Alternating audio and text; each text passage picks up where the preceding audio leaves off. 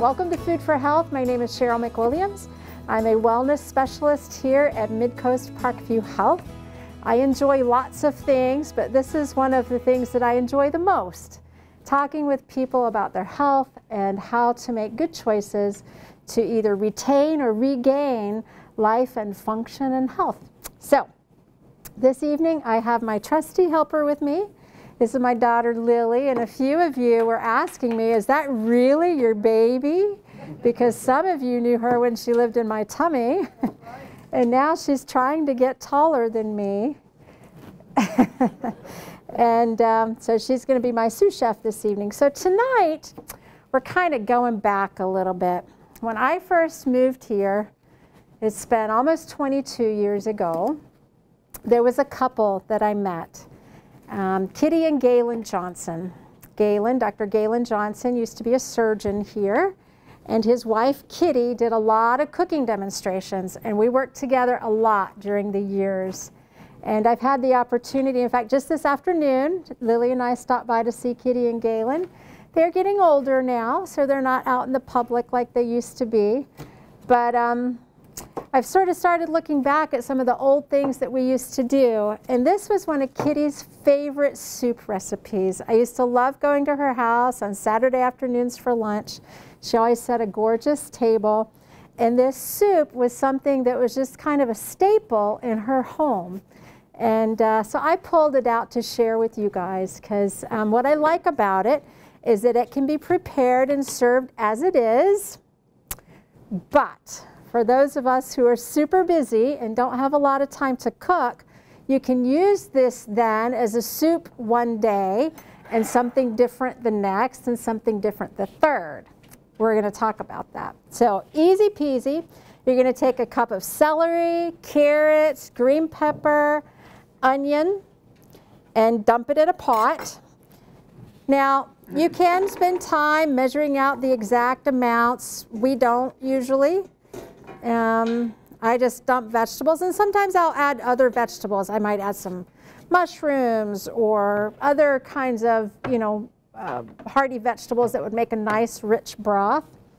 For me, if one clove of garlic is good, um, four or five are better.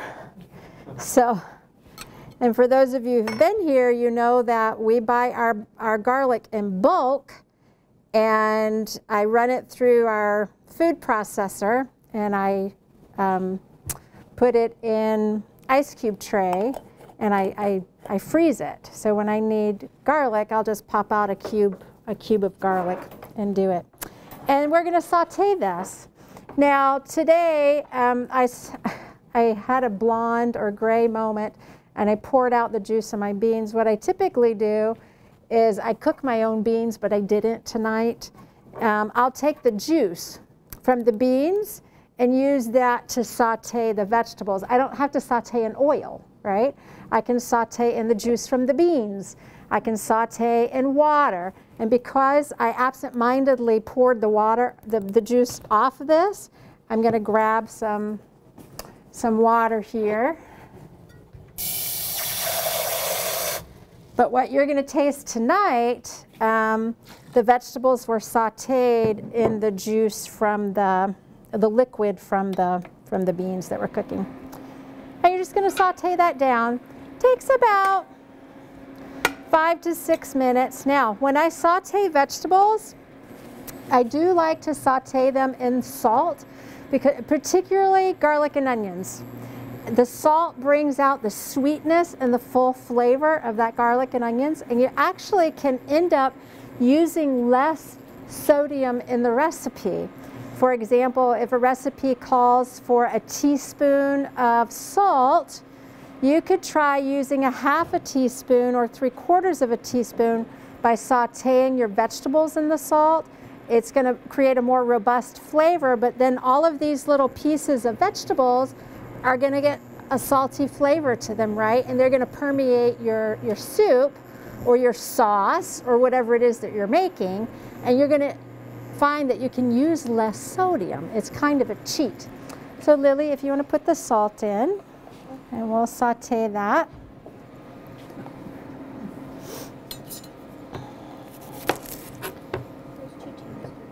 one teaspoon, please, ma'am. Yep. Now another thing that I sometimes add to this um, recipe is ground ginger. I tend to use ginger in lots of different places. It's not a requirement, but you can, and I like to do it if I have some available. I, I will do my ginger the same way that I do um, my garlic. If I have a lot of ginger on board, I'll take it and um, mince it and freeze it. And then I've got fresh minced ginger whenever I want it.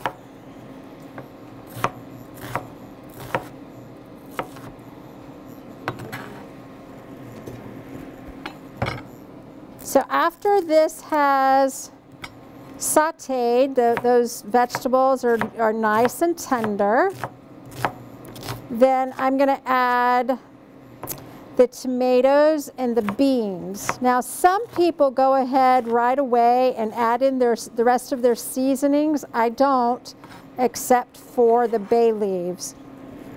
I allow the bay leaves and the liquid and the beans to cook together and I add the rest of my seasonings, the basil and the um, cumin and what's the other one, oregano.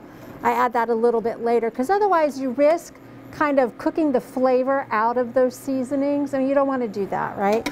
So I kind of add those at the towards the end of my cooking. So once those have sauteed, then I'm going to add my tomatoes. Now, Kitty always used whole tomatoes and would cook those down. If I have whole tomatoes, I'll use them. Um, sometimes I do and sometimes I don't. I didn't. So what am I using tonight? I'm using crushed tomatoes and I am going to um, use a little bit of water to, I don't want to waste any of those yummy tomatoes that are still in there.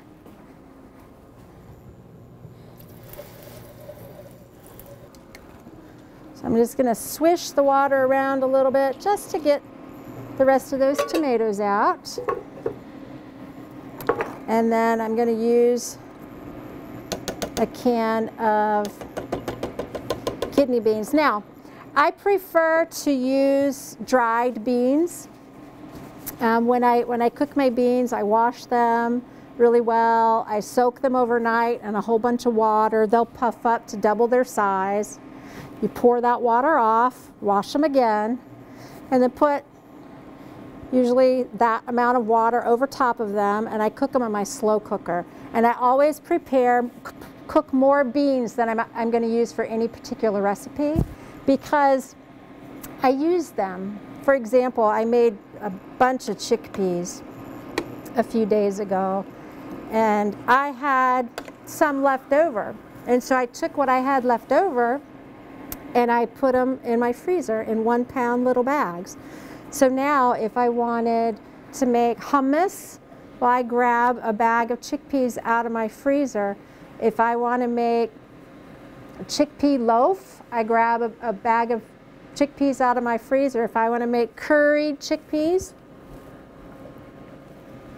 thank you, out of my freezer they come.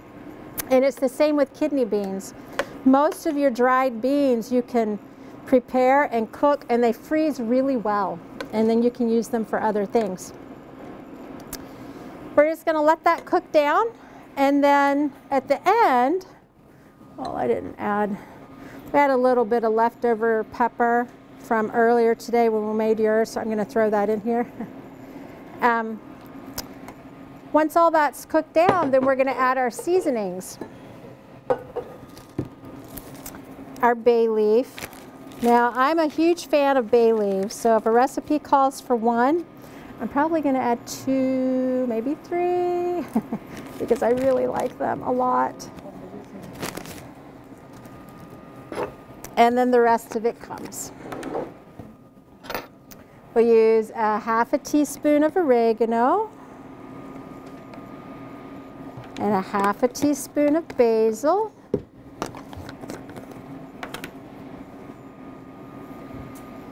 and a half a teaspoon of cumin.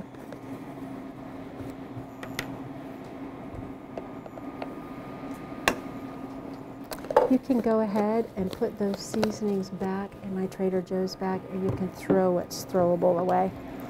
And I'll just stir that right in. This, you would cook this for probably about 20 minutes. Um, it'll get nice and hot. Those vegetables will get nice and soft. I actually prefer to cook it the day before because those flavors will season and marinate all night and then you can warm it up the next day. It's a great dish to have leftovers of. So tonight I would enjoy it as a soup. Tomorrow night I might add some extra garlic, a little coconut, and some Indian spices and it's curry over brown rice or quinoa or groats the next day, I may have saved some aside and I might add some extra basil and some extra beans and some pasta and suddenly it's pasta visual, right? So you can use it as a base for lots of different things. It also freezes well. So if you made a big pot of it and you had leftovers, well, you could stick the leftovers in your freezer and have it for a later time. And that's why I really like this recipe. It's incredibly simple. There's no right or wrong. You can't mess it up. but it's good. It's very tasty. Now, to be honest, at home when I make this, all the vegetables that you saw me put in, I put in. But I usually add a few. Like if I had sweet potato on hand, I'd probably chop up and throw a sweet potato in there. I might have some eggplant uh, sitting on my counter. I'd throw some eggplant in there. You can add to it, but it's a good base recipe um, that you can use to make lots of different things out of, or you can enjoy it as it is. Any questions? All right, you're gonna get your samples after Dr. House taught. Give us just a couple minutes here. You can see how colorful it is. Can y'all see that? See how colorful that is? All those nice rich colors.